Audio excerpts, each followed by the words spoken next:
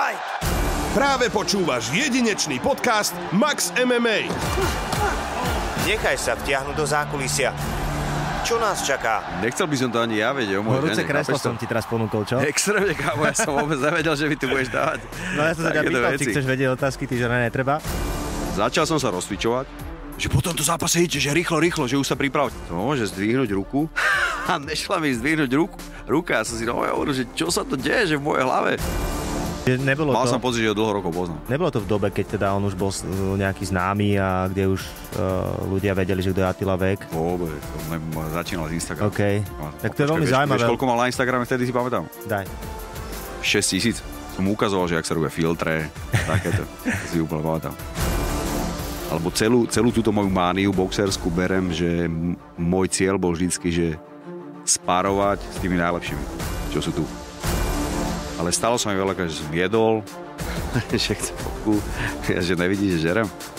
Tak úplne mu tu došlo, tak sa postavil pol metra a nové na mňa pozeral, že akože kým dožerem. Tak som proste mu to povedal ako rytmu, že Braško, nejebe ti tak náhodou.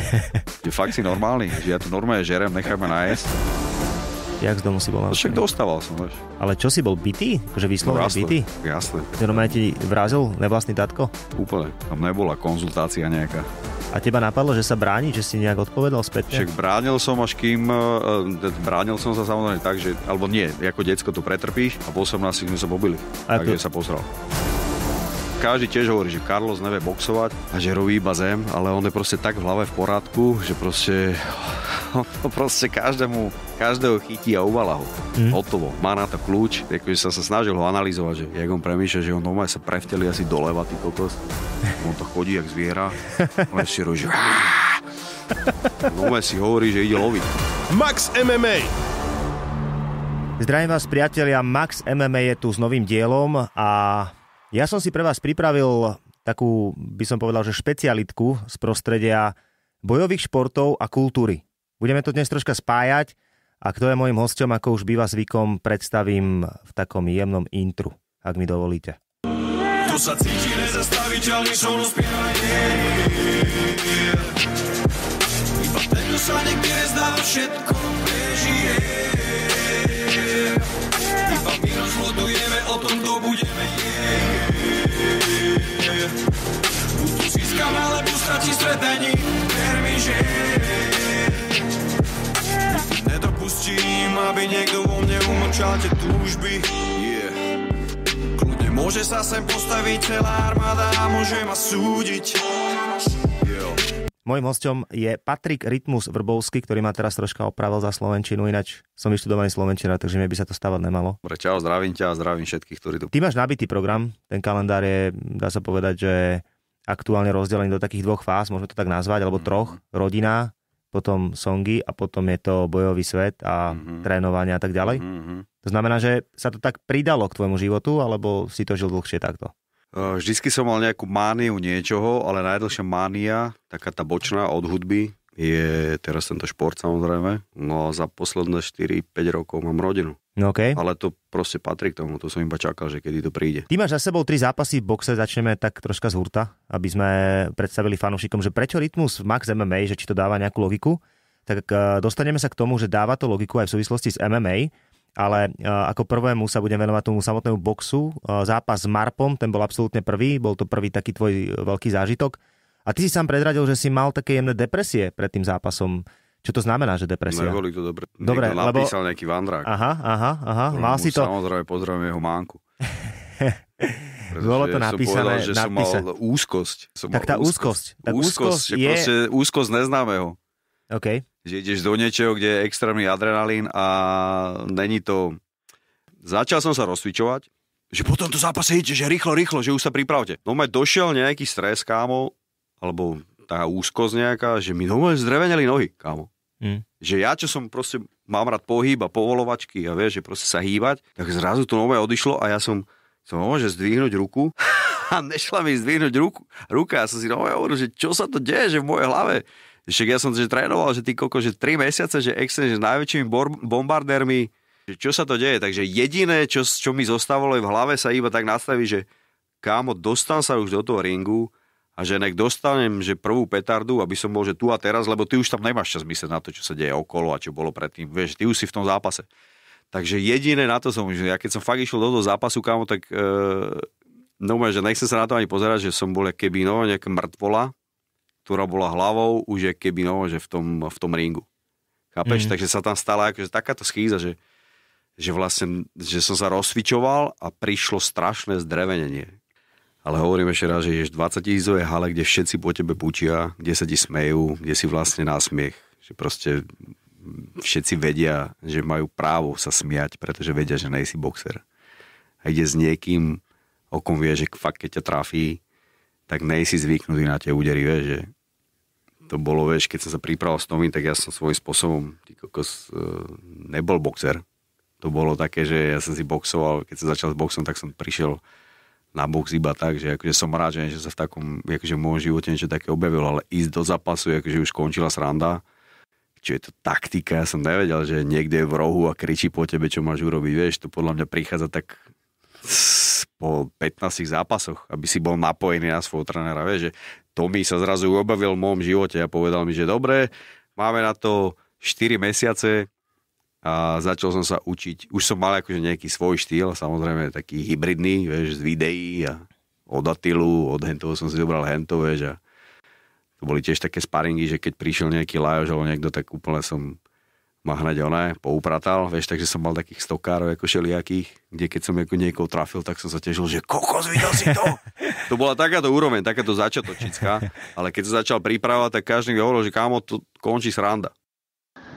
No, s Patrikom som mal tú možnosť trénovať alebo žiť nejaký ten boxerský náš spoločný sen alebo boxerský život pol roka, keď tu trénoval nás na Akadémii Tomio Kida, keď sa pripravoval proti Marpovi. A boli to jeho, môžem povedať, že aj nejakou formou nejaké začiatky, zasvietili sme do nejakej inej prípravy a, a pekne sa mu darilo. Takže však ste videli aj ten zápas, šeskolový zápas absolvoval s Marpom a dobre sa držal. Takže e, po tom zápase, jak skončil ten zápas, potom sa nás tak nejako, e, tak naše cesty sa nejako rozišli a aj keď asi ho to neomrzalo a baví ho ten, stále ten náš šport, tak tomu sa veľmi teším. Ja som hovoril, raz dáme jeden fight, keď budeme starší, tak dáme Tommy Kid versus Rytmus, alebo Rytmus versus Tommy Kid. Takže takto to je. Ja mu fandím, nech sa mu darí. Uh, veľa ľudí v jeho veku by kašľal na to a určite by si natiahol boxerské rukavice a, a on to stále robí. Normálne, že deň predtým alebo tam začínaš dostávať, že extrémne zrkadlo, že ako to je. A už si opatrný v tých vyjadreniach a už ti akože prihára a už ti ho len stiahuje zadoček. No a chcel som povedať, že presne, že v tej pozícii, ktoré som bol ja, tak som sa išiel vlastne postaviť na lopatu všetkým hejterom a médiám, že som vedel, že... Neviem prečo, vedel som, že prehrám. Bola to jazda, sám seba som spoznal, druhý zápas už bolo, už to berem skôr tak, že som úplne bol tak vycvičený, že som presne vedel, že čo bude a tak som si to nejak povysvetloval vo svojej hlave tak, aby som bol v pohode. Tak z týchto skúseností, čo som mal s Marpom a s Gáborom, som si povedal, že nebudem sa rozcvičovať, aby neprišlo zdrevenenie. Že budem robiť to, keď mi donesete vždycky niekoho na sparing, tak ja sa tak začnem prechádzať, úplne sa tak hecovať, vieš, proste tak akože naberať ten testosterón, sem tam idem proste na, na mech, kde sa cítim úplne, že akože dávam strašné bomby a toto som robil presne pred Molochom a strašne dobre som sa cítil.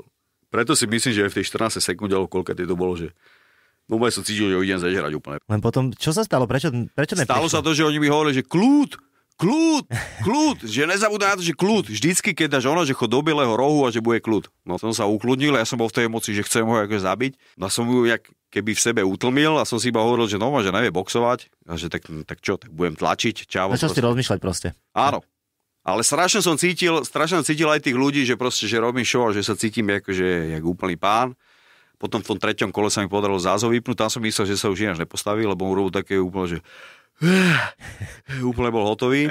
Do toho mi hovorili, si pamätám, že mi hovorili, že chod do bieleho, že ja som sa postavil a že on vlastne začne počítať, až keď budeme v bielom. Takže mm. tam som mu dal zbytočne akože nejaké sekundy. No a tak jediné, čo som mohol robiť, teda s mojimi skúsenosťami zápasníckými nejakými, čakať na jeho nejakú chybu, vieš.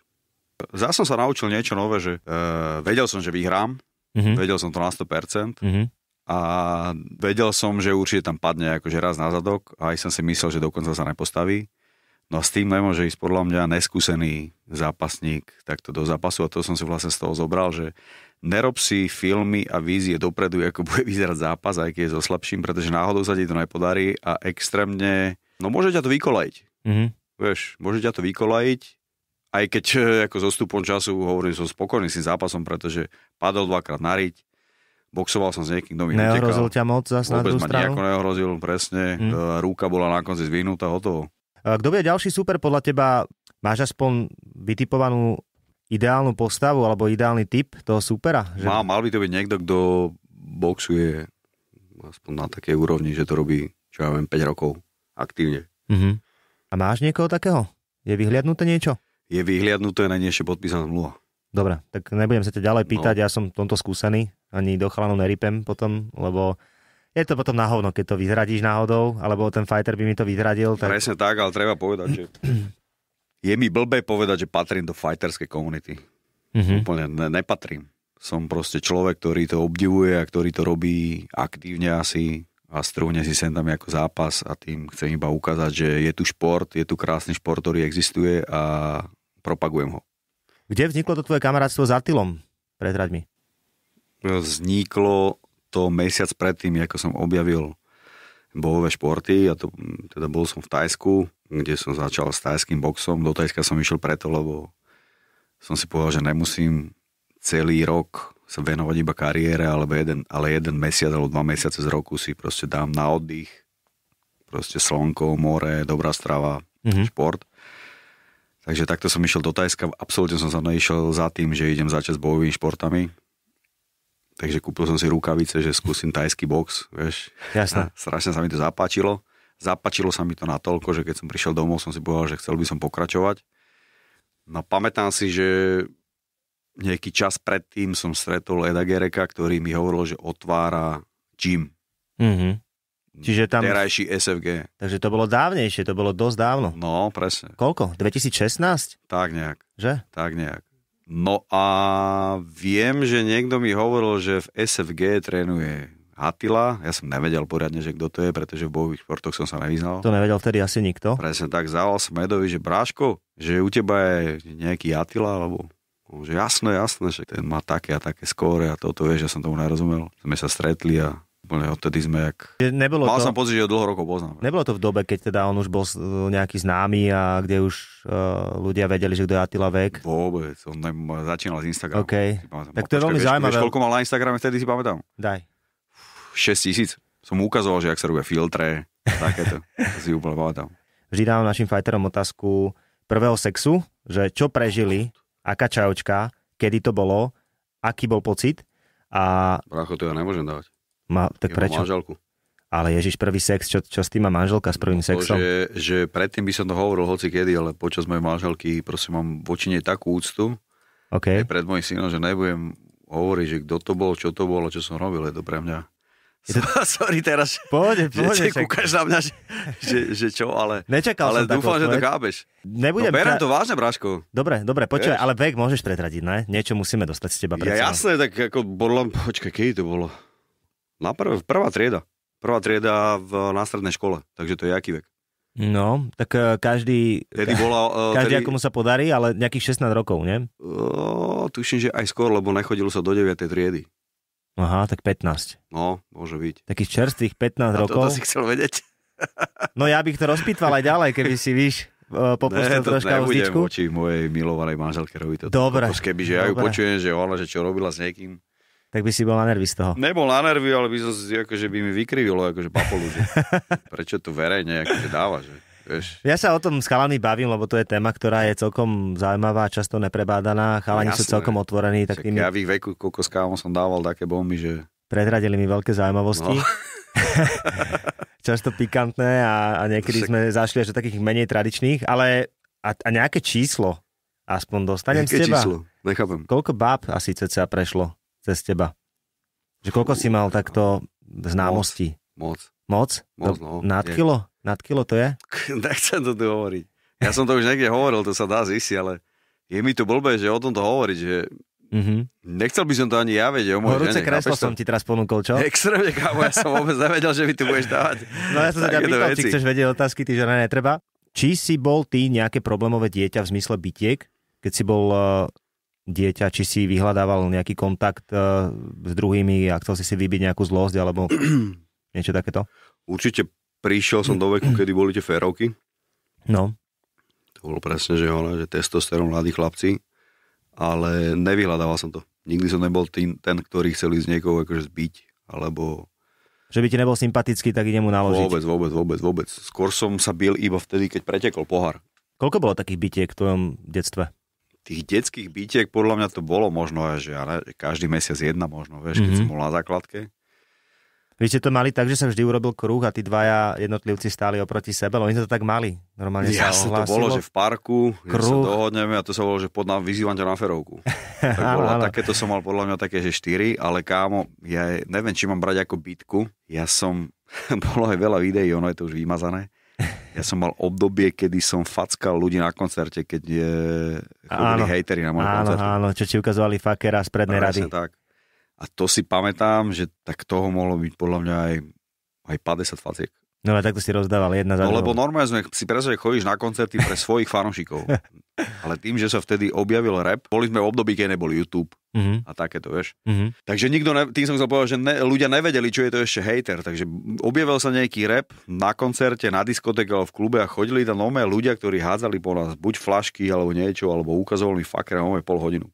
To ti dosť leze na nervy, lebo ty chceš hrať pre svojich fanúšikov. Tak som proste povedal, že stop, stopni to. Nové som došiel za čavom, dal som facku a povedal som mu, že vypadni. Že keď mi ukazuješ fakera a, a proste ukazuješ mi neúctu, že si prišiel na môj koncert, kúpil si kúpil si lístok, tak vypadni prosím ťa. No že takto to vždycky rád radom išlo preč. Predstav si, že niekde si v dobrej emócii prídeš na koncert a v prvej rade je niekto, kto ti to fakera ukazuje úplne do huby. Takže najprv si ho nevšímaš, hovorím, že bude ho boleť ruka a dajú do. Vieš. OK. Ale keď ti to niekto ukazuje úplne, že 20 minút do huby, tak ti ukazuje, že vlastne som pre ňoho toto, čo mi ukazuje. No tak ja si hovorím, dobre, a ty si pre mňa toto. Alebo že jak to vyrieším si ho, aby ma to neotralo. Tak som prosím mu dal facku, takú otcovskú a takouto typickou repovou rečou som ho vyprevadil. OK. A už sa neukázal samozrejme. Tak hamba na celý život prečáva, vyfackaný pred 20 tisíc No ľuďmi. ešte aj ľudia akože ho vypískali, že nech je preč, vieš, No, lebo, jasné. lebo vedeli, že nie je vítaný, vieš. Čo je, čo je niečo, čo ťa dokáže najviac nasrať teba, že kde už pri tebe ten pohár pretečie? Ja už to mám posunuté, kámo. Čiže máš väčší pohár, hej? A o koľko je vyšší ako na Lebo- začiatku? Povedz mi. Strašne oveľa, lebo, lebo predtým to bolo, že, e, alebo takto, e, ty sa dostaneš do takého showbiznisu, kedy ti robia na schvál, aby ťa znervoznili. A vtedy je dobré, keď oni písajú, že ma nasrali. Hmm. Vieš, že napíšu, že rytmus stratil nervy, alebo niečo, vieš, že oni. Takže nič. Máš zápas v boxe, si proste rytmus, ktorý je monopol, ktorý nemá problém v hudbe riešiť nejakých hejterov, máš ich proste na salame a čekuješ to po zápase, pozrieš si, čo píšu ľudia, čo hovoria, jak, jak Mm. to oni vnímali? Mm-mm. Ne, neviem, nezaujíma ma to. Vôbec, Ani hej? sa nechcem si Je, zamýšľať. je to Na proste čo? o tom, že si hovoríš, že však ja som reper a toto je môj hobby šport a proste keď... Úplne. Úplne. Okay. úplne. Čiže si ja si nejdem robiť, že... nastavil si si komfortnú zónu v podstate, Úplne, ja, psychicky. normálne, že ja nejdem vôbec robiť žiadnu kariéru, že koľko, z- budem mať 46, chápeš to? A skôr to berem, že možno tí, čo so mnou žijú, ten môj príbeh od začiatku a majú dneska presne, že okolo 40 tak im iba vždy ukazujem, že chlapci, aj toto sa dá robiť. Možno aj pre reperov, kámo, keď ja som s tým začal, to tu nebolo bežné, dneska repery už, vieš, trénujú, chcú mať zápasy a komfortná, nekomfortná zó- zóna, vieš, ohýbajú do slovíčka, takže ja to berem skôr, že je to nejaká novinka v showbiznise, vieš. Ak sa dostaneme k tým samotným sparingom a k tomu bojovému svetu, Mhm. mm-hmm. tak skákať troška, tak uh, uh, je jedno pravidlo, ktoré funguje, ktoré som si odskúšal aj sám na sebe. Ja som sám teda robil bojové športy 10 rokov a strašne sa mi ľúbilo, že viem techniku, že som brutálne rýchly, že proste všetko je super, ale ako náhle som dostal údery, tak mi to nebolo jedno. Došiel som domov a nebolo mi to jedno. Takže tebe, ty nemáš stavy po tréningu, není ti nejak blbo, necítiš sa, ja neviem, neboli ťa hlava. Tak akože sú tam otrasy, keď máš takýto nejaký sparring. Dobre? Chcel som ináč ešte pripomínať, že ja som taký sparingový boxer. Mhm. Ja nejsom zápasový. Už je podľa mňa na to neskoro. Samozrejme dám si ešte ten zápas, ale milujem sparingy. Alebo celú, celú túto moju mániu boxerskú berem, že môj cieľ bol vždycky, že sparovať s tými najlepšími, čo sú tu. Tak si to vždycky aj robil. Ty si začal u Tomiho, ne? Kida? Však začal, ale vieš, keď išiel so mnou bandy alebo niekto, tak som sa nechytal. Ale Tak iná váha, samozrejme, a tie ruky sú o mnoho rýchlejšie. Úplne, zas. ale keď som išiel s niekým, že kto to fakt že ovláda a robí to celý život, tak som sa že absolútne vôbec nechytal. Dneska si dovolím tvrdiť, že si zasparujem proste s hocikým. Mhm. Samozrejme, nemôže prísť ťažká váha najlepšia. Tam je to cítiť, že extrémne, ale zasparujem si s hocikým. A není ti proste po tom tréningu zle? Že nebýva ti uh, na hovno? Že si taký nesvoj a... Mm, Nie, lebo ja, vieš prečo? Lebo ja som typ, ktorý nejde cez údery. Tým, že som presne takýto, že na diálku, tak e, nechuťa mi tie údery a keď teda dostanem nejaký úder, že na hlavu, tak cítim akože taký ľahší otras. Mhm. Uh, pokiaľ je to rytmusový, tak tí chalani si možno ani tak nedovolia zase na druhú stranu. Vôbec, kámo, práve dovolia. Áno, však sa sám- ukázať? Počkaj, sám to dobre vie, že keď ide s niekým, No, kto je dobrý no, a ja ho tam cvičím, tak tedy mu prepne, áno. ja, to si nemôžeš mu- nechať. áno. To si nikto nenechá. To nie, To, to, si, nie, to ale... si dokonca nenechám ani ja, že keď ide niekto so mnou, kto iba tak a zrazu ma tam akože cvičí a boduje, tak proste si to nenechám ani ja. A takisto si to nenechá ani ten profik. Okay. Či je to Tomáš Dejak alebo hocikto, že proste išiel som, vieš, že som udal, že pár predných, ťavo prepol mód a musel ukázať, že kto je tam doma, vieš. Dobre, dobre. Tak troška sme sa ponorili do tohto sveta. Ja sa ešte vrátim dozadu späť, pretože ja si v tejto relácii často chystám aj výpovede druhých ľudí, ktorí poznajú toho respondenta aj z inej strany. Tak počúvaj, že čo som si pripravil. Dobre, To zvedavý, rád. kámo. Takže čaute, aj tu je Ego. A Ja vnímam Rytmusa a jeho vzťah s boxom ešte z čias tej éry na prelome 90. rokov a 2000, kedy bolo dosť organizovaného zločinu a takisto v kluboch sa diali bežné bitky a rôzne vytržníctva, čiže bolo dobré na sebaobranu, keď sme išli postupne hore a hore a v tých kluboch sme začali pôsobiť, bolo dobré sa vedieť aj brániť. Takže sme sa prihlásili na, bo, na box a Rytmus to párkrát aj využil, keď prišli nejakí drzáni na koncertoch a párkrát, myslím si, že Paťo to využil, ale nikdy nebol Rytmus násilný typ, dokonca je ten typ, ktorý ma naučil, že sa nemá kopať do niekoho, kto už leží na zemi. On bral box ako šport a ešte predtým, než prišiel tento najnovší boom, tak Rytmus boxoval a jazdil s Atilom. Je to prirodzené, že eh, išiel do toho projektu, pretože stál pri tom boxe a aj napríklad stál pri Atilovi alebo boxoval s Atilom ešte predtým, než Atil bol najväčší pán, najväčší chlap slovenský, najväčší hrdina slovenský. A teda neviem, či je väčší hrdina Rytmus alebo Atila, ale minimálne sú to kamoši. Takže nech sa vám darí chlapi. Počúvaj, pamätám si časy, kedy oni chodili na box. Ale ja som na to nemal čas, No, Počkaj, takže... ego, ego boxoval som Ego počul. box, ale kámo to boxoval, vieš koľko, že dva týždne možno. Lebo sa rozpráva, že má zápas nejaký za sebou. Má zápas, ale po Dva týždne boxoval a išiel do Áno, zápasu. presne tak. To nebolo, že boxoval pol roka, že bol z neho boxer. Ale tak to je umenie. Ísť po dvoch týždňoch No. do zápasu. Jedna, jedna veta sa mi tá akože najviac ľúbila, to je, že Paťo ma naučil nekopať do ľudí, ktorí sú na zemi. No tak ja si myslím, že to som mega nemusel ani učiť, že my sme proste z takého ako vyrovnaného prostredia. Že to Mhm. mm-hmm. my sme nerobili nikdy. Aj keď sú nejaké DC alebo niečo, vieš, že Počúvaj, nechybajú ti férovky v dnešnej dobe?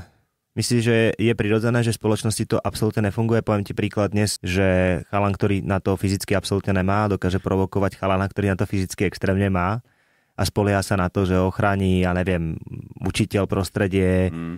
Jednoducho dneska už tie férovky neexistujú. Je to Podľa- zlé? Je, je to Podľa niečo- mňa to neexistuje preto, lebo to veľakrát končilo, si myslím, ťažkými zraneniami Mhm, a následne nejakými trestami za to. mhm. Takže určite kvôli tomu, vtedy to bolo podľa mňa úplne jedno, vieš, že keď sa niekomu niečo stalo. Bolo, ale došiel policajt, ešte ti pridal No, párkrát. vieš, takže myslím, že to je aj kvôli tomu.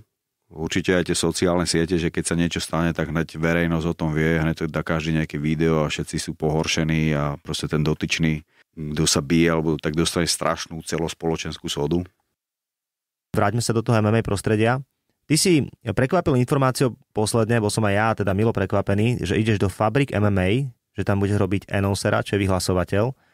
A môžeme asi predradiť, že Fabrik MMA je niečo, čo ty máš vo svojich rukách, mm-hmm. si sa Mhm. rozhodol podporovať aj ty. To znamená, že si taký spolumajiteľ, dobre Áno. hovorím. Áno, áno, áno. áno. Prečo MMA, prečo tento projekt pre teba? určite mám k tomu prostrediu blízko, že všetky také tie najväčšie organizácie, čo sú, tak poznám aj tých majiteľov. Ale viem, že za Atilom sme sa veľakrát bavili, že kámo, však keď ja si dám sparring s tým a s tým, alebo ty si dá sparring tým a s tým a s tým a urobí sa nejaká stránka a dáme to, že PPV, tak proste to bude mať taký a taký výklad, tak, vý, výtlak. Takže čoraz viac sme sa začali baviť o takýchto veciach. Čiže biznisový mód. Určite. Začal som to vnímať ako sveta. biznis. Začal som to vý- vnímať ako biznis, ktorému akože si myslím, že rozumiem. Zas, keď sme sa bavili o tom oktagóne, tak ja sa predradím, hej, že aj, aj to vyšlo v mediálnych výstupoch, že Fabrik je značka, ktorá nejakým spôsobom koordinuje s oktagónom. Áno, je to taký mladší brat, brat Octagonu. OK, aj v UFC má mnoho takých modelov, Áno. sú organizácie, ktoré, ktorou musíš prejsť, aby si sa raz dostal do UFC. Tam je zámer naozaj byť takým tým prostredníkom a filtrom, alebo je zámer sa nejak rozvíjať a byť väčší, väčší, väčší, väčší, väčší. Jasné, že, že každý chce byť väčší. Však buduje sa značka. OK. To je ako prvý plán. Čiže Keď asi, vybuduje, asi tak- tak... poviem to takto, asi bola chyba, keby ste prišli na trh a povedali, že jedného dňa dobehneme Octagon, ako to už niekto urobil u nás na trhu. To si myslím, že už nebude. To sa podľa mňa nedá. Je to niečo, ako keby ja som Je začal teraz repova- repovať hej, a poviem, že, že No. vieš čo, tak o dva roky budem tam, kde je kontrafakt proste. No. A ten announcing, čo na to hovoríš? Čo to v tebe vyvoláva? Mm, Kámo, nové, až sa bojím, že nič. Hej, že, že máš taký ten mŕtvý pocit? Ne, ne, ne, ne. mám normálny pocit, že, poviem, že v modrom rohu Robert Kmeď, ty si Robert Kmeď, alebo... Oh. si mi dvakrát, Braško, sa- dvakrát si mi domotal meno. Dobre, že pozri sa, hneď ti to takto vystrelené, že v modrom rohu Robert Kmeťo, toľko a toľko zápasov Okay. pre ten a ten gym a gym a proste zakričím tvoje meno. Takto si hovorím, že to, mal by som povedať tie informácie, ktoré potrebujú počuť ľudia. Okay. To je jedna z tých robot, ktoré vyzerajú, že to je nič. Že to je úplne nič. Mm, áno, podľa mňa musíš mať na to hlas, musíš vedieť chytiť emo- emóciu, musíš tam byť taký, že si aj nejsi. Nesmeš to tam celé zožrať. Nesmieš byť... Takže to znamená, že nemôžem, určite presne, nemôžeš tam hovoriť nič navyše a robiť tam nejakú show, jak nejaký reper. Musíš tam mať presne tú definíciu, ktorú, má, ktorú majú ten týpek v UFC a ten jeho brat Michael Buffer. Buffer. And Bruce Buffer. Tak. Viem, že ide o takéto niečo. A toho sa aj držím a viem, že sa budem musieť na to deň predtým proste pripraviť. A ak mi to pôjde, čo si myslím, že by mohlo ísť, tak viem, že to už mám. No dobre, uh, ty už si spomenul ten príbeh Michaela, Brusa a Buffera. Mhm. Uh, nie každý úplne ovláda, že čo to tam medzi nimi je a jak to vzniklo. Ale chcel som dať takú ochutnávku toho, že kto je Michael Buffer, ak by Mhm. niekto nevedel. Tak uh, idem to teraz pustiť.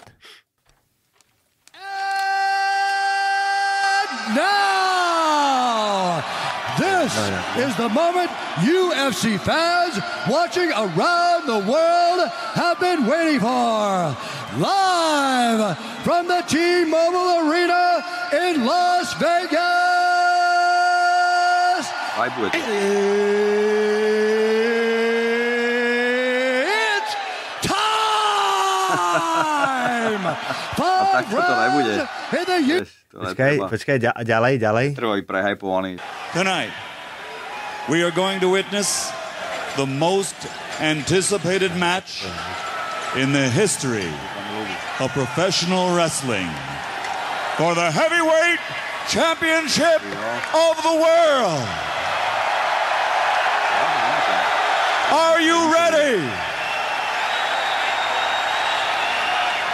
Wrestling fans, are you ready?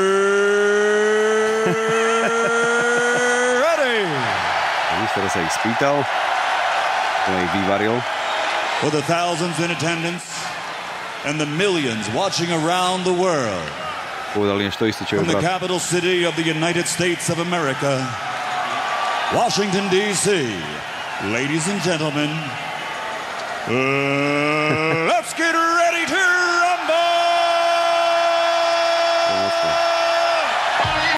Jeho definícia. Jeho definícia. ready for the heavyweight title and grabbing that strap on and getting it on all Najhorší pocit, keď rozhodca proste ti za chrbtom ukáže, že to je na piču. No. Úplne setre proste pred ľudí.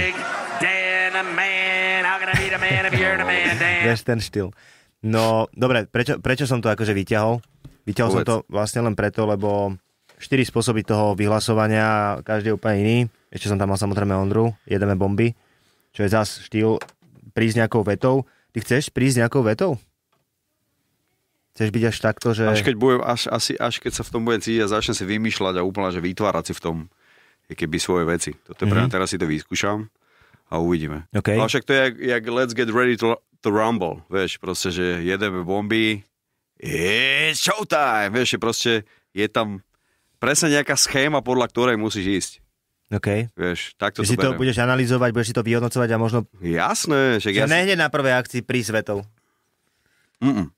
Chápeš? Musím najprv vidieť, že čo dokáže môj hlas, keď držím ten mikrofón a cíti ten vibe.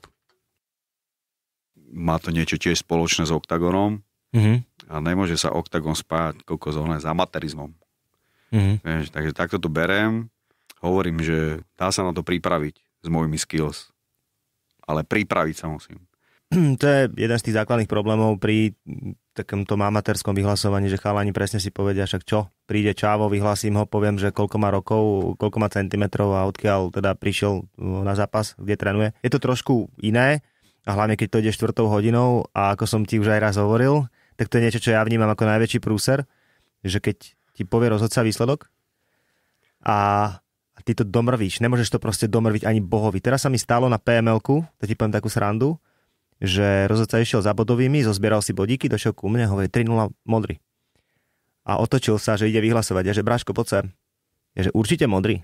Môže áno. Je, že chod si to ešte raz overiť. Fú, Išiel si to overiť kámo červený. ty. Zober si to, že tá čajočka, čo mala dominanciu celý zápas, to boli baby, jak by sa cítila. No tak ja by som povedal, že sa stala chyba potom, keby to bolo na mňa. To je jediné, čo môžeš urobiť. Viem, že čo všetko tam hrozí. Ty koko, strašné faily tam hrozia. Uved, No. uvedomujem si to, Bráško, ale ja som zažil také faily všelijaké, že... Daj nejaký. No čak stačí fail, že bol orchester v Trnave a organizátor tam zabudol dať 500 soliček. A ľudia pískali. Mm. Na to stálo, na mne. Takže som musel prísť a povedať ich upokojiť a niečo proste povedať, že my sme tu dneska kvôli hudbe. Organizátor nedal 500 stoličiek, Mm. Povedal som, aký je mu na to názor, ale tak nebudeme to teraz riešiť, že hodinu alebo dve, ale ideme sa baviť. Takže poďme Mhm. sa zabaviť, hotovo. Vieš, že akože uh, už som zažil všelijaké faily, fuck upy, kedy by som to ja nemal riešiť, ale proste tým, že 20 rokov stojím pred ľuďmi, vieš, že kde sú proste tisíce ľudí, tak eh, viem, ako sa majú zdieľať tie informácie alebo fuck upy, aby boli v pohode, aby som im to nezničil. Mm. Tieto princípy podľa mňa fungujú všade, kde je jeden mikrofón, stage a ľudia. Ono, ono skôr bude zaujímavé potom sa ťa na to opýtať bezprostredne po tej akcii, že aký máš pocit, ako si si to užil, lebo však si to tam hlavne ideš užiť. No, Hlavne určite. super, super je to, že to bude v Trnave, tam to bude extrémne žiť, tam bude kotol, tam bude strašný kotol. To znamená, že ty niečo povieš a tí ľudia začnú reagovať. Najhoršie, čo sa môže stať, je proste pre annoncera alebo pre niekoho takéhoto, a to poznáš aj ty, že proste prídeš, vyhlásíš, čakáš, že ľudia niečo urobia To mi je jedno. a oni sú, oni sú ticho. Kámo, to mi je jedno. Mne to až tak jedno nebýva, to ti poviem zase úprimne, že ja si to tak Mne to je, lebo ja vyhodnocujem. som zažil, ja som zažil, vieš, že tiež dáš niekde pesničku a akože nereagujú tak, jak by som chcel. A to Mhm. všetko záleží od zvuku a jak to všetko vyzerá, vieš, Mhm. aj, aj tá emócia, aká je. Však nemôžem im ja vynadať, vieš, že, že čo si, jak na pohrebe. Bežne to na, na koncerte robím, ja, že jak na pohrebe, ja vy ste si zaplatili na koncert, tak poďme sa trošku baviť, ne? No, sa uvoľnite, keď sa vám chce tancovať, tak poďme tancovať. Viem, okay. že takto to akože urobiť nemôžeš. Môžeš, keby si chcel, samozrejme. Že kokos není to ono, že highlight najväčší, najväčšia proste, jak bych povedal, nebude to ono v televízii, prime tam nejaký najsledovanejší, takže si myslím, že to môže byť uvoľnené. To nejde do telky niekde. Mm. Je to na streamy, áno? Na stream, no. No, tak je to úplne v pohode. Ja si myslím, že prvé budem sledovať, čo sa deje, ako to je Mm. uh, a bude, budem keby uh, to študovať, aby som to pochopil. Jak mile to pochopím, tak si začnem potom tie ďalšie do toho dávať ako svoje veci. Ja sa vrátim k tomu Michaelovi a Bruceovi Bufferovi. Uh, ty si povedal, že oni sú vlastne bratia. A poznáš ten príbeh? Vieš, ako to bolo medzi nimi? Vôbec. Nevieš? Vôbec. Bolo to tak, že Michael Buffer je ten, ktorý vlastne robí tie boxerské akcie. To znamená, že on bol známy. On bol, on bol jeden z najbohatších ľudí v podstate v okolí. A Bruce Buffer vôbec netušil, že Michael je jeho brat. Absolútne nevedel. Bruce vyrastal doma s mamou, otcom a taktiež aj bratom Brianom. Ale Brian nie je ten slávny boxerský hlásateľ. Brian pracoval ako policajt v LA. No a Bruce si vlastne celý život myslel, že to je jeho jediný brat. Realita však bola iná. Bruceov otec Joe bol prvý raz ženatý ešte počas druhej svetovej vojny. S jeho prvou ženou sa im narodilo dieťa, Michael Buffer. Krátko po vojne sa ale rozviedli a každý išiel svojou cestou, zatiaľ čo Michael ostal s mamou. O otcovi netušil vôbec nič a ani sa s ním predtým nestretol. A tak to bolo až do roku 1985. Priezvisko Buffer je v Amerike dosť nezvyčajné, no a Bruce, expert na telefónne zoznamy, nepoznal mimo svojej rodiny žiadneho ďalšieho Buffera. To sa zmenilo, keď v televízii pozeral box a tam predstavoval boxerov Michael Buffer. Moderátor, ktorý má rovnaké priezvisko ako on. Ľudia sa ho začali pýtať, či to náhodou nie je jeho brat, ale Bruce odpovedal, že on má predsa len jedného brata a ten pracuje ako policajt. Až sa raz otca spýtal, či o tom náhodou predsa niečo nevie. No a otec mu na rovinu povedal, že to je pravdepodobne jeho brat. Bruceovi sa podarilo nakontaktovať na Michaela a prvýkrát sa všetci stretli na večeri. Michael bol v tom čase už naozaj veľmi slávny. Moderoval tie najväčšie boxerské zápasy a Bruce sa rozhodol, že nechá stranou svoj biznis a stane sa Michaelovým manažérom. Ten s tým súhlasil, pretože Bruce mu predstavil svoju víziu, ako z neho spraví naozaj bohatého človeka a samozrejme v procese na tom zarobí aj on. A to už sme v 90. rokoch a tam vznikalo aj UFC. No a jedný z prvých turnajov UFC 6 a UFC 7 v 95. moderoval práve Michael Buffer. Bruce sa tak na prvých turnajoch UFC objavil ako Michaelov manažer a okrem toho zastupoval ešte aj jedného bojovníka. Potom prišlo UFC 8 a tam Bruce Buffer po prvý raz vstúpil do klietky ako moderátor, aj keď zatiaľ len na predzápasoch. Tieto informácie sme vám poskytli vďaka svetu MMA a Aďovi Mečiarovi. Čo sa týka Night Challenge, tak aj tam samozrejme ty nejakým spôsobom funguješ. Uh, budeš mať teraz ďalší zápas, čiže tie tvoje zápasy ťahajú pozornosť. A jeden čaho sa vyjadril na internete, že zatiaľ to nejdem sledovať, počkam si radšej na zápas Tribula versus Puškarova. Uh-huh. To je v jednom z komentárov. Ľudia si takto robia akože piču. To je dobrý marketing podľa teba, alebo zlý marketing? Ako to vnímaš, takéto komentáre ľudí? Že som rád, že sa to komentujú. Hej? Jasné. Good, hej? A nech si počka. Puškárovú. Práve mu príjemné čakanie. Dobre, čo sa týka potom eh, veľa ľudí narážalo na tú tvoju váhu. Uh, všetci proste komentovali tvoju formu pred zápasom a že, že si viac pri sebe a že či si nedáš trenky vyššie a takéto veci. Ako na to reaguješ? Majú pravdu. Dám. Teraz som si ich dal nižšie. Áno. A Moloch si ich dal vyššie. Dobre, dobre. Čiže, čiže nerobí ti to nejaké stavy, hej? Vôbec. Ani, ani niekde, že vzadu, že ťa to vôbec nesere? Že počúvaj, že kokos, že keď ma to strálo, tak asi schudnem tak, aby teda, ja neviem, som mal kocky, ale nechce sa mi ísť, ja, akože aby som v 80 kg vyzeral jak primitív úplný. Moja váha reálne, aby som akože začal, ma, začal mať rys, je podľa mňa tak pod 80 kg. A tam by si chcel ešte niekedy ísť? Vôbec. Ne? Vôbec, ja som minule dal na 87 a vyzeral som ty kokos, aký som bol chorý. Čo? Teba dokáže fakt, že tak uh, nahnevať z pohľadu fanúšikov, čo robia fanúšikovia zle, keď sa s tebou nejakým spôsobom stretnú? Určite je nepríjemné, keď normálne niekde si v súkromí a ako nestáva sa mi to, ale hovorím ti, že čo by ako bolo, dojde normálne s telefónom do papule a začne si ťa fotiť, mm-hmm. to si poviem, to by som mohol hľať, že odkopol ten telefón.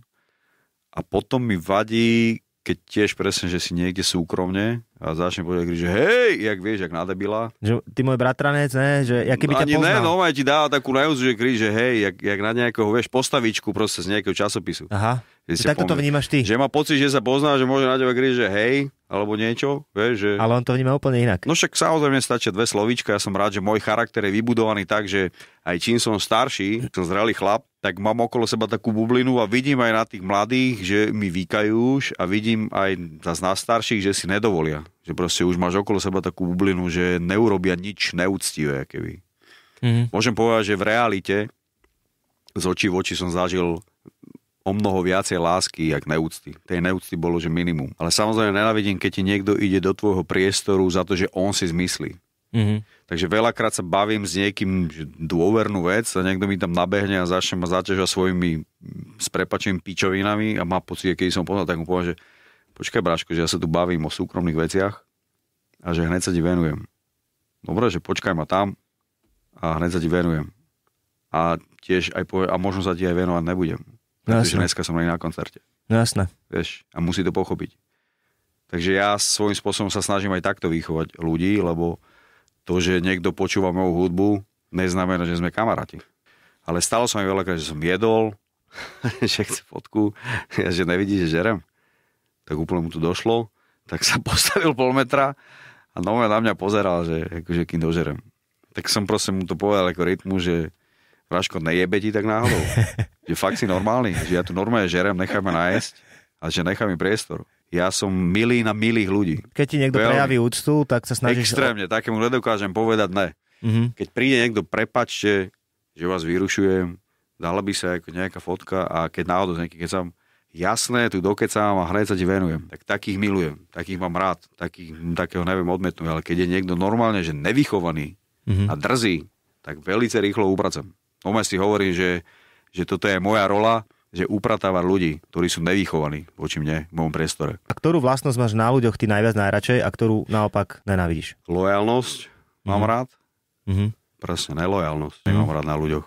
Alebo keď sa klame do huby, že vidí, že niekde, niekde ťa ojebal, niekde urobil nejaký akože ojeb a úplne že klamete do očí, do papule. Že A tedy si si taký, že ho konfrontuješ s tým, že Braško, Nie, ale vôbec. vidím, že ma klameš, alebo to neriešiš a som, v ideš... tak, som v takom rozpoložení posledné roky, že odstrihávam iba. Vypočuješ si, povieš si, OK, si proste tu. No už nedávam, že už nedávam do toho, že ego, že musím ho prebiť svojim egom, Mhm. Mm, lebo nestojí mi za to, aby som klamáral o človeka, vieš, nelojálneho, že ktorý proste ma nejak oklamal, alebo čo, aby som ho presvedčal. Iba proste, no, aj odškrtnem preč Mm. z môjho priestoru. A škrtáš často? Už ani ne. Už sa nedostanú takí ľudia ku mne.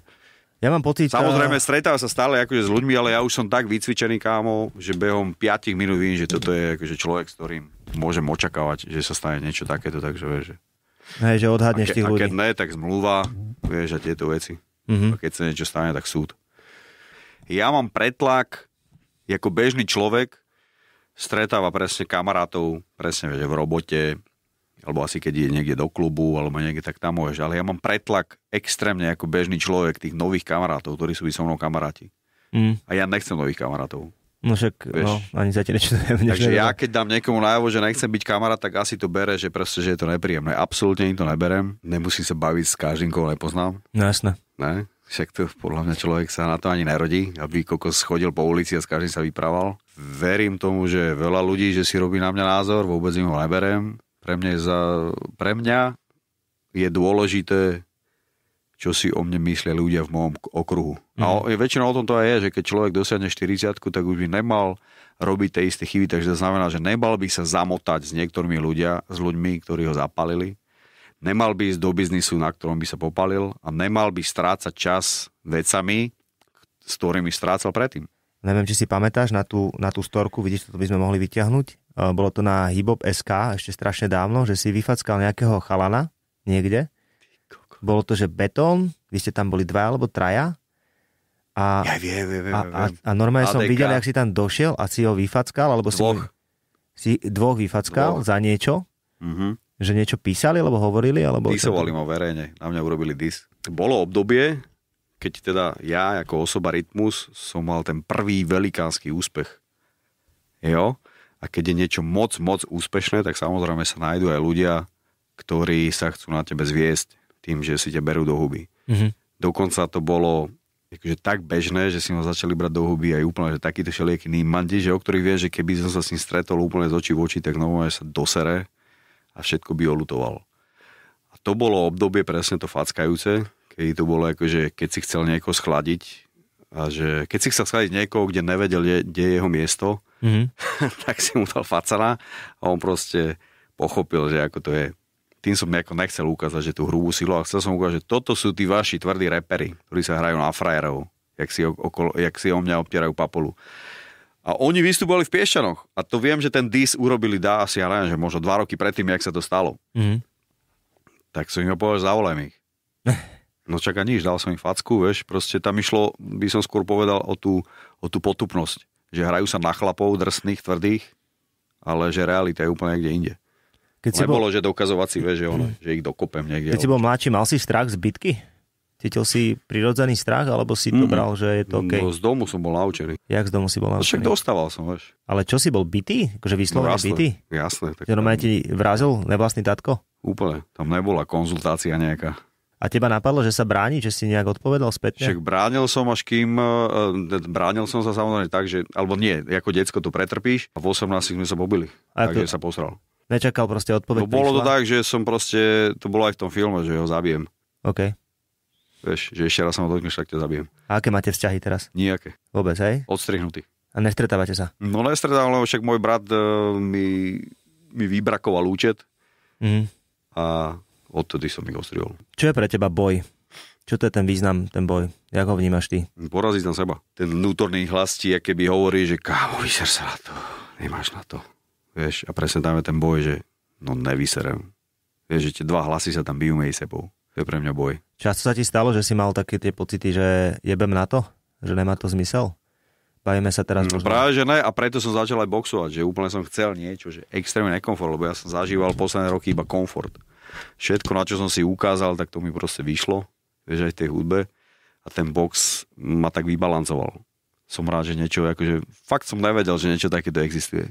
Mm. Že Mm. sa vystavíš vnútornému hlasu, ktorý ti hovorí. Potreboval si nejakú výzvu zase ďalšiu. No úplne, kámo. Fakt, Chýbalo ti to v akože- živote. Úplne, úplne. Jako, nemusel som, vieš, mohol som si dať aj slabého nejakého, ale neviem prečo, mne príde veľmi prirodzené niečo, čo je strašné, že jak som to veľakrát hovoril, že keby si postavil 100 ľudí, tak to zoberú možno dvaja. A ja chcem patriť medzi tých dvoch. A presne to bolo to, že v tej príprave som akože si hovoril, že to nedám. Hm. Že ja si na to vykašlem, ale vymyslím si nejaké zranenie. A ty že si na čo zažil, som sa to dal? zažil si aj to extrémne chudnutie? Tie problémy s váhou? Jasné. Hej? Jasné, však aj teraz z uh, extrém, ako vedel som, že to dám. Nechuťarina strašná, že? Úplne. A hlavne v mojom veku, kámo. Že sa bojíš už potom, že ti to neprinese nejaké potom zdravotné určite, problémy určite, do, do budúcna? to, ne, ako máš takú schýzu, že sa hovorí, že, že po 40 by si nemalo ne, vyvolovať takéto extrémy.